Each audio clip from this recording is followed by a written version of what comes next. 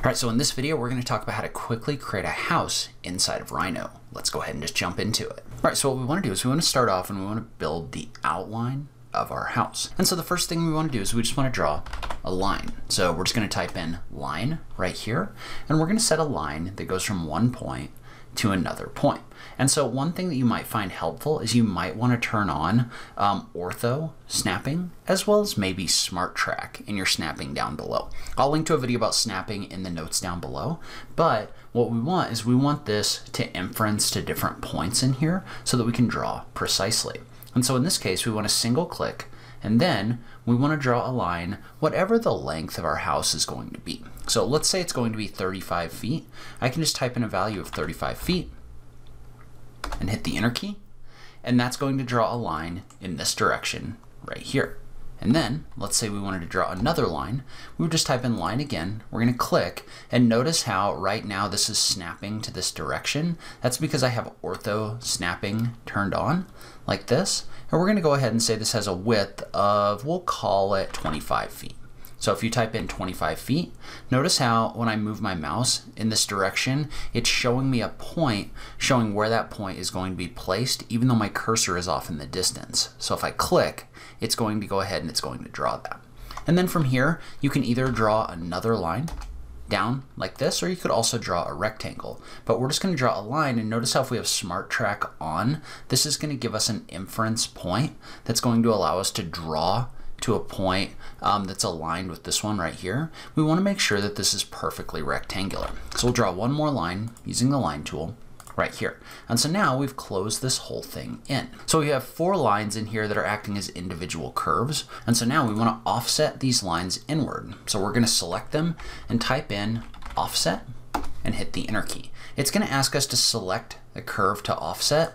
And so this is a little bit of a problem, right? Because each one of these is an individual curve. So I'm going to hit the escape key and we're just going to select all of these and we're going to type in the value of join. And so when you join them, what you've done is you've taken all of these curves and you've um, combined them into a single curve in the way that Rhino looks at those. So now what I want to do is I just want to type in a value of offset like this and hit the enter key. It's going to ask me the side to offset like this. Notice how if I move my mouse inward, it's going to offset this in. If I move my mouse outward, it's going to offset it out. So this really just depends on if your house is going to have a 35 foot by 25 foot external or interior dimension. Um, in this case, I want this to go inward, but first I want to click on my distance and I want to set my offset distance to, we'll say six inches for this exercise. So I'm just gonna type in six inches and hit the enter key. Then I'm gonna move my mouse in and I'm going to click like this. And so notice how what that did is that came in here and this basically offset all of these edges inward just like this. So now we have two different curves that are in here. And so now we want to take these walls that we've generated and we want to extrude them upward. So the way that we can do that is we can select them both like this.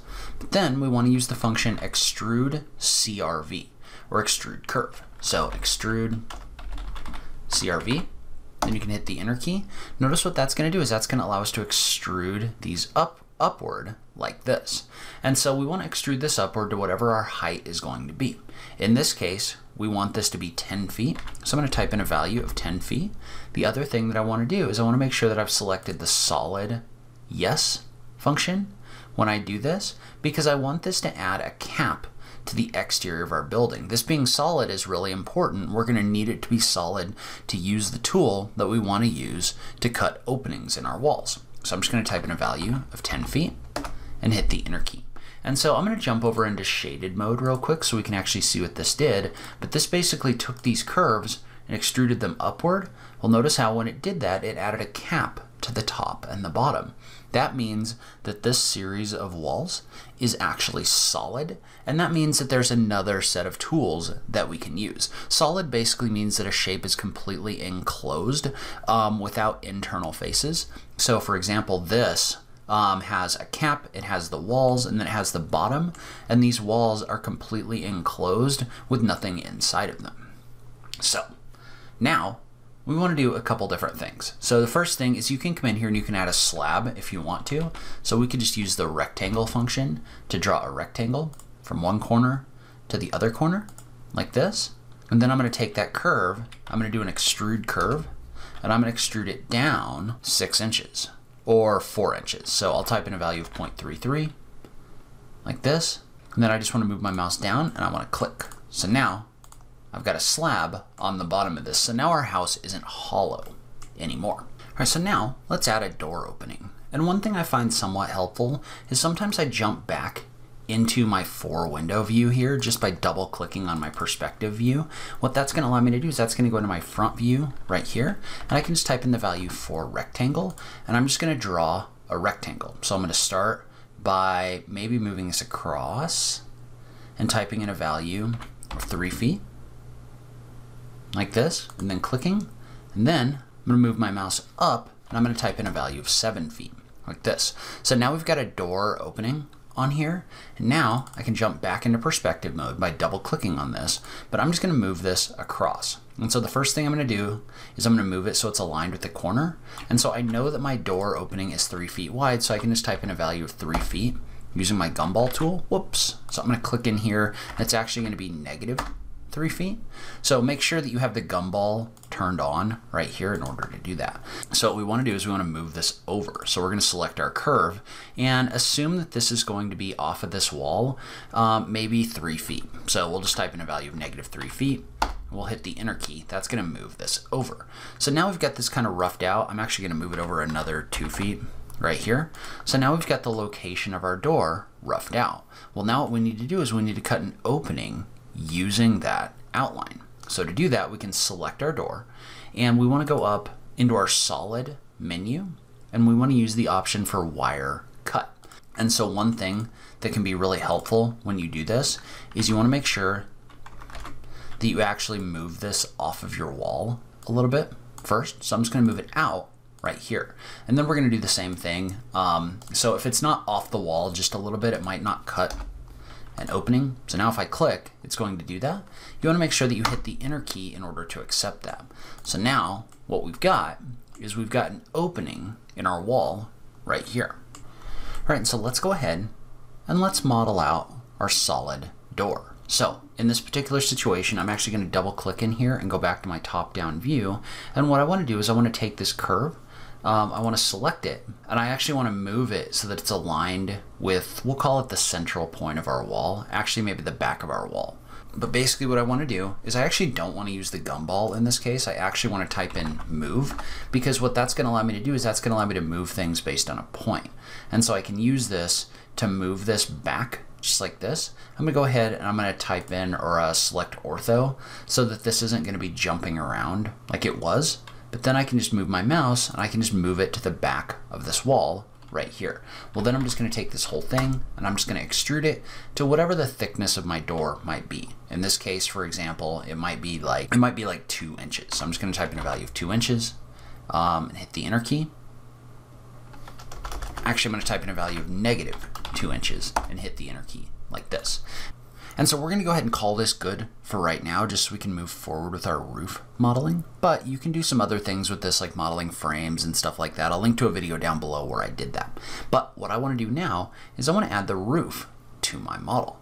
And so in this case, probably the easiest way to add our roof is just to find a central point and draw a line up.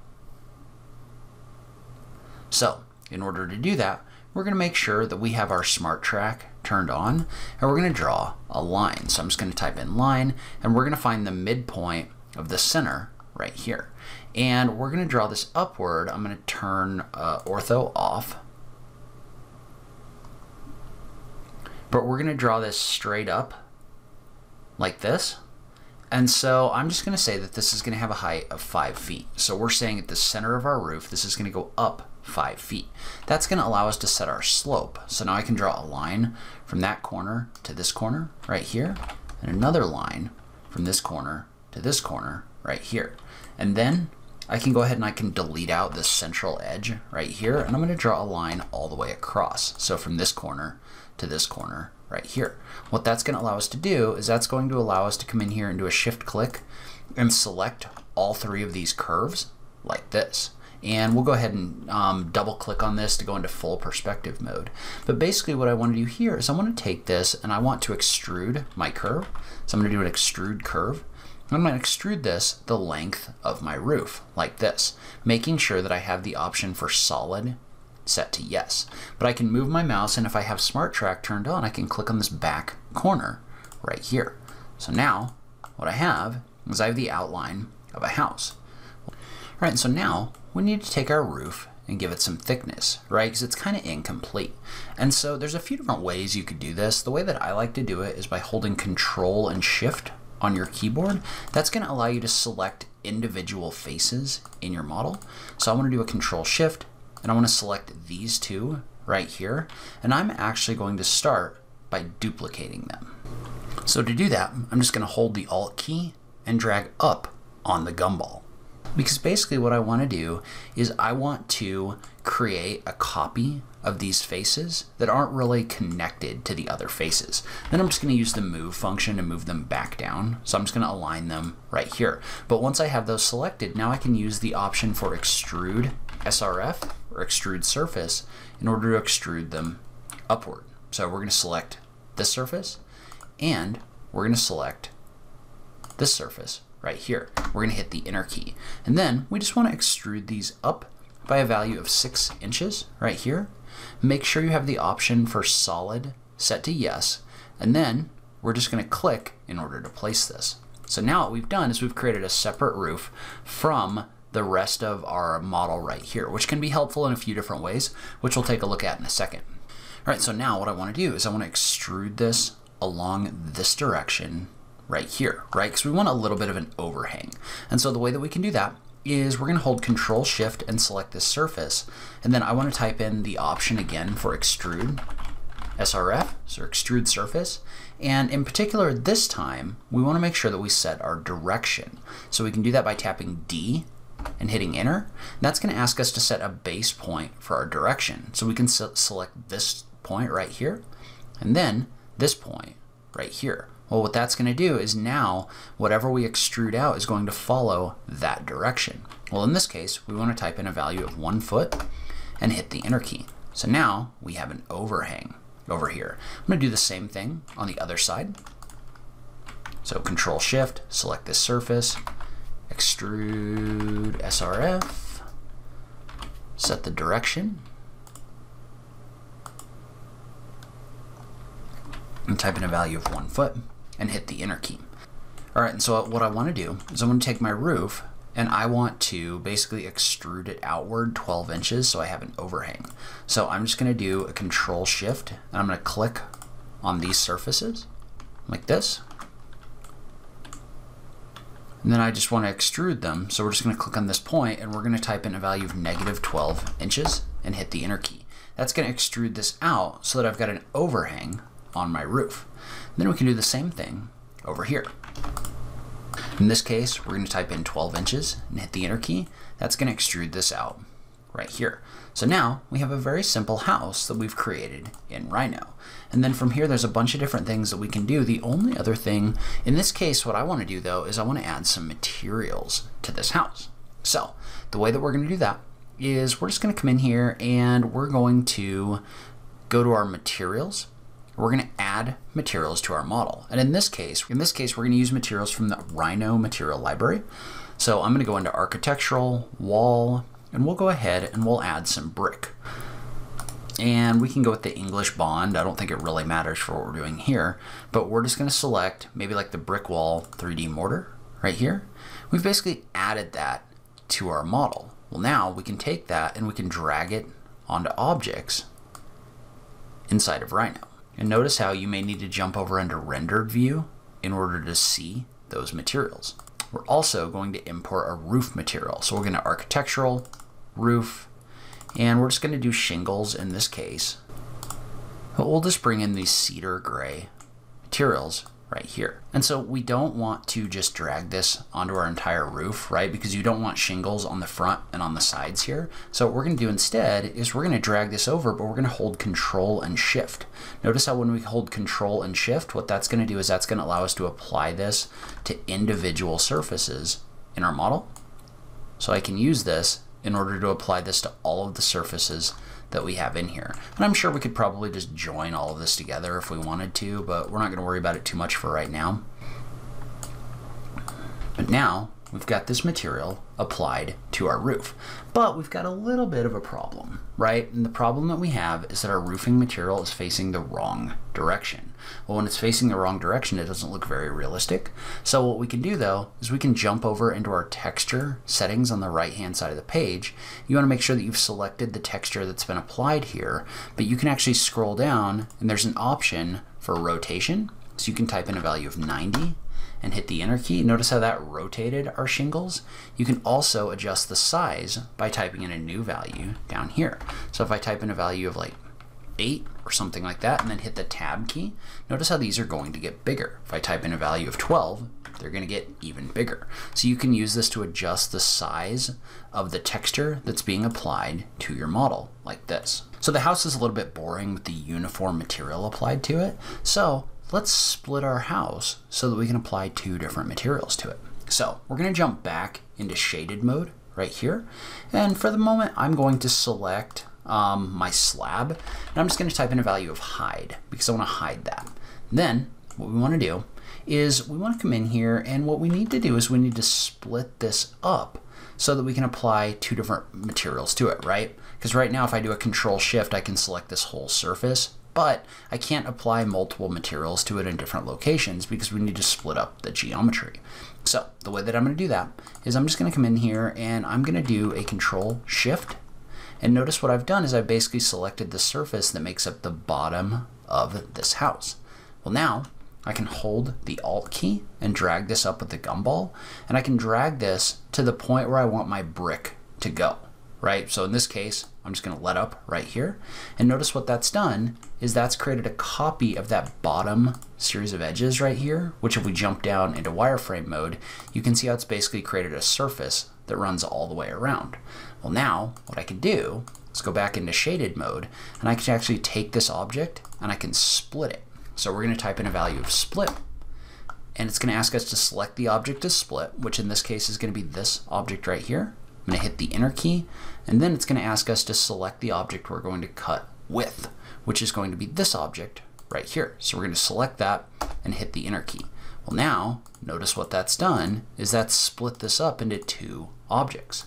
And so we're going to go back into our visibility and we're going to go ahead and we're going to show our slab again. But now we're just going to jump into rendered mode right here. And let's say I want this to have siding up above. So brick below, siding above. Well, all we have to do is just jump back in here and let's just add a siding material from our library. And we've got a lot of options, but let's go ahead and just go with, uh, maybe we'll go with like this siding gray thin for right now. So we'll just bring that in. I'm just gonna drag that and drop it onto my object right here. So what that's done is that's now given me a house that has multiple different objects or different materials on it. And if we wanted that to be something else, it's really easy to change. So if we wanted to try a different siding material, for example, we could just come in here, pick, like maybe instead of siding, we wanted to go with stucco. So we'll just go with one of these stucco materials right here. You can just drag that on here in order to assign that to your model. So you can use it to really quickly um, change different materials and apply different materials to different parts of your house. I will also link to a video on this page talking about how to model a floor plan if that's more the kind of modeling you're trying to do. But as always, thank you so much for taking the time to watch this, and I will catch you in the next video. Thanks, guys.